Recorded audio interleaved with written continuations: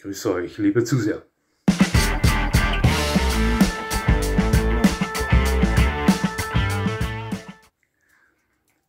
Nochmal herzlichst willkommen, liebe Zuseher, hier auf meinem Kanal. Ich freue mich sehr, dass Sie da sind. Ja, Hintergrund ohne Worte. Heute habe ich eine ganz besondere Granate als Video für Sie. Ich möchte heute zwei Molosser-Rassen miteinander vergleichen, welche ganz klar einen rockigen Dusch verdient haben. Es geht hier um den Bullmastiff und die Bordeaux Dogge, zwei der beliebtesten Molosser-Rassen auf der ganzen Welt und oftmals werden die beiden miteinander verglichen. Ich hörte schon so oft, die Bordeaux Dogge ist der französische Bullmastiff oder der Bullmastiff ist die englische Bordeaux Dogge. Ich persönlich empfand die nie als wirklich sehr ähnlich, wenn es um die Optik geht. Ja, gefallen tun sie mir beide. Ich hatte auch schon äh, Bekanntschaft mit beiden Hunderassen, arbeitete an der Schutzarbeit mit einem Bullmastiff, das war ein Genuss, werde ich nie vergessen. Die Bordeaux Dogge ist der Lieblingsmolosser meines Vaters und ein sehr guter Freund von mir besitzt jetzt die vierte. Das sind zwei herrliche Hunderassen und ich dachte mir, ja, wenn die schon so oft miteinander verglichen werden, denn ich weiß, Bordeaux-Doggen-Fans sind meistens auch Fans von Bullmastiffs und umgekehrt, dann schmeißt du die beiden einmal miteinander oder gegeneinander ins Rennen bei einem Vergleichsvideo und das möchte ich heute gerne tun. Zuerst mein Eindruck, wenn ich beide Hunde sehe. Ja, weshalb empfinde ich die nicht als besonders ähnlich? Na, ich denke, die unterscheiden sich erstmals extrem von der Kopfform. Ja, also sie haben zwar einen ähnlich langen Fang, doch während äh, der Fang der Bordeaux Dogge mehr in das Bulldoggenlager hineingeht, ist der Fang des Bullmastiffs bei weitem trockener. Er hat nicht so schwere Lefzen wie die Bordeaux Dogge. Farbtechnisch unterscheiden sie sich enorm und hier sticht dieses schöne Hellrot der Bordeaux Dogge besonders hervor.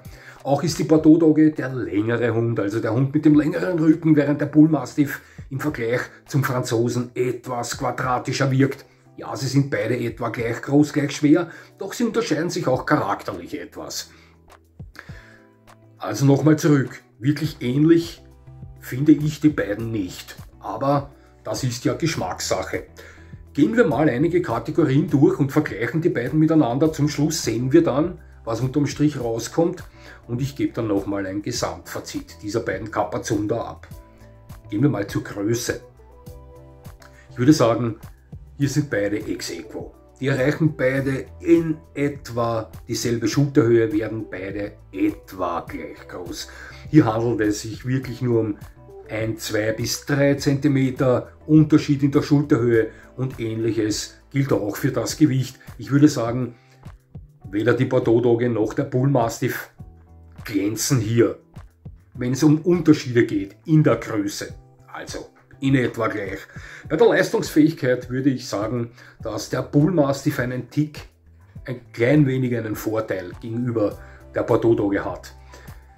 Supersportler sind beide nicht. Das sind äh, typische Molosser, typische Molosser-Rassenvertreter, wuchtige, bullige, schwere Hunde, die zwar, besonders der Bullmastiff, zu den sportlichen Molossern gehören, aber äh, Marathonläufer sind Molosser generell nicht.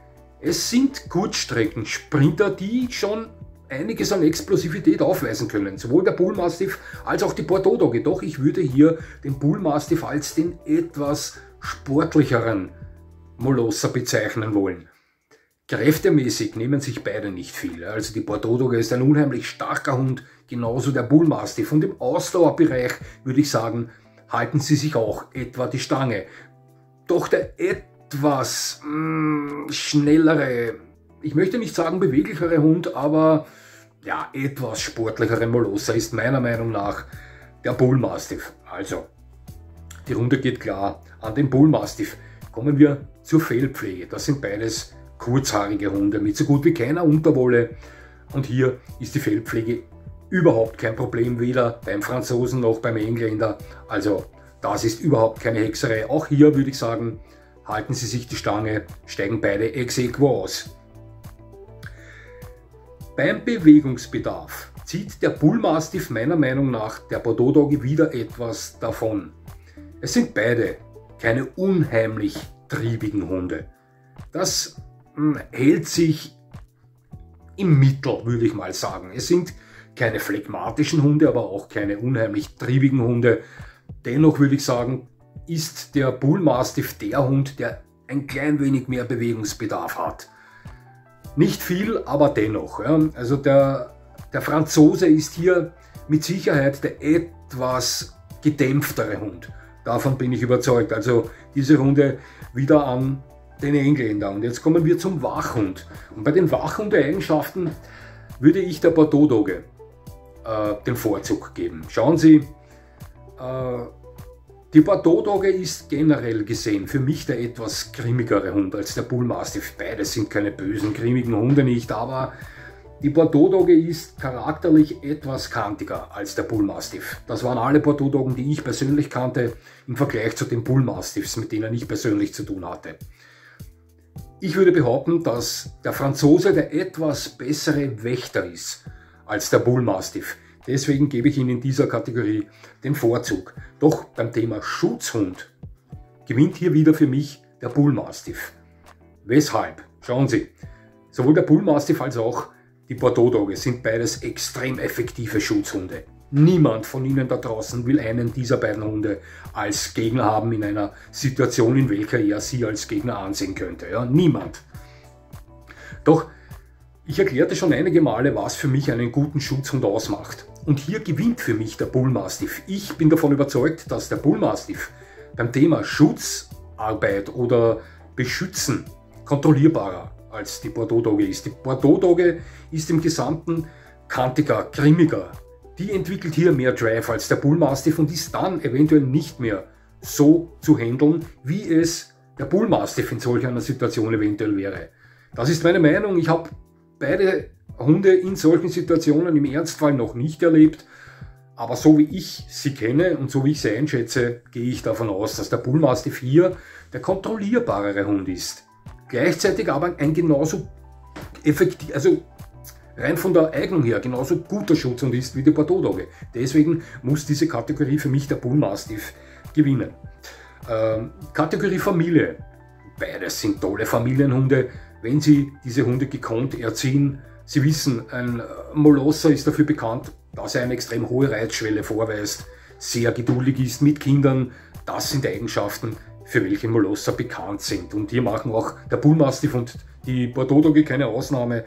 Und wenn diese Hunde gut in guter Hand sind, gut geführt werden, gut erzogen werden, sind das Top-Familienhunde. Beides sind keine Einmannhunde und beides sind Hunde, wenn sie mit Gefühl an Kinder herangeführt werden, von klein auf mit diesen auch extrem viel Geduld vorweisen. Also ich würde sagen, hier steigen beide ex equo aus. Wohnungshunde. Ah, Durchschnitt. Große, schwere Hunde, aber mit Recht mh, hm, überschaubarer Triebigkeit, wenn ich das so ausdrücken kann. Das heißt, das sind keine Hunde, die ständig in der Wohnung herumhirschen. Ja, würde ich behaupten, dass eine 30 Quadratmeter Wohnung für einen derartigen Brocken von Hund zu klein ist. Aber es muss auch nicht unbedingt ein 200, 300 Quadratmeter Haus mit dementsprechendem Grundstück äh, dazu sein. Also eine halbwegs äh, große Wohnung sollte eigentlich reichen, um einen, äh, eine Bordeaux-Dogge und einen Bullmastiff anständig halten zu können. Also beide für die Wohnung geeignet, meiner Meinung nach. Beim Thema Ersthund ist für mich klar der Bullmastiff der geeignetere Hund. Molosser sind generell für mich keine klassischen Ersthunde, das habe ich schon sehr oft gesagt. Sie wissen schon, Händchen, manche Leute haben das natürlich, manche Leute haben schon den x-ten Hund und können immer noch nicht mit dem Tier umgehen. Aber als klassische Ersthunde würde ich die beiden nicht durchgehen lassen. Das ist meine Meinung. Doch wenn ich beide miteinander vergleichen müsste, würde ich sagen, der Bullmastiff ist hier etwas führiger. Klassische Ersthunde beide nicht, aber eine Entscheidung zwischen diesen beiden würde ich äh, zugunsten, ähm, ja, würde ich, würde ich mich auf die Seite des Bullmastiffs schlagen, wenn ich so sagen kann. Ist für mich der geeignetere Ersthund. Ja, äh, was sehen wir jetzt? Wir sind hier jetzt fertig mit dem Kurzvergleich und ich würde sagen, der Bullmastiff ist der etwas leistungsfähigere Hund mit mehr Bewegungsbedarf und hat Vorteile beim Thema Schutzhund. Die Vorteile habe ich schon erklärt, das ist meine Meinung. Außerdem ist er etwas führiger als die Bordeaux-Dogge. Die Bordeaux-Dogge ist meiner Meinung nach der bessere Wachhund, aber generell hinkt sie in diesem Vergleich dem Bullmastiff etwas hinten nach. Ich würde behaupten, dass der Bullmastiff der bessere Allrounder ist als die Bordeaux Dogge. Schauen Sie, ähm, das sind beides typische Molosser. Groß, stark, wuchtiger Kopf, ja, Ecken und Kanten, wie alle Molosser. Während der Bullmastiff für mich eher den modernen Molosser vertritt optisch, wirkt die Bordeaux Dogge auf mich, als wäre das ein Hund, der mit einer Zeitmaschine direkt aus der Antike her katapultiert wurde. Also der wirkt extrem antik für mich. Aber es sind beides typische Molosser.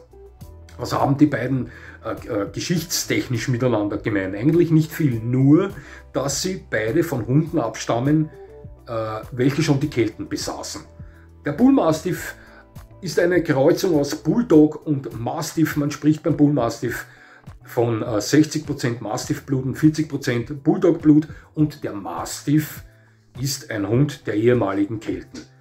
Bei der Bordeaux-Dogge spricht man von Hunden, welche man vermutet schon die Gallier besaßen, mit welchen schon Julius Caesar in Kontakt kam. Ja. Kann aber auch sein, hier wird viel spekuliert, dass die Bordeaux-Dogge aus Kreuzungen damaliger keltischer Hunde mit römischen Kriegshunden hervorging. Das ist das Einzige, was beide miteinander verbindet und natürlich ihre Zugehörigkeit zur Kategorie der Molosser. Doch ansonsten würde ich sagen, ja, sie sind sich etwas ähnlich, aber so ähnlich wie die beiden sich sind, sind sich auch andere Molosser untereinander.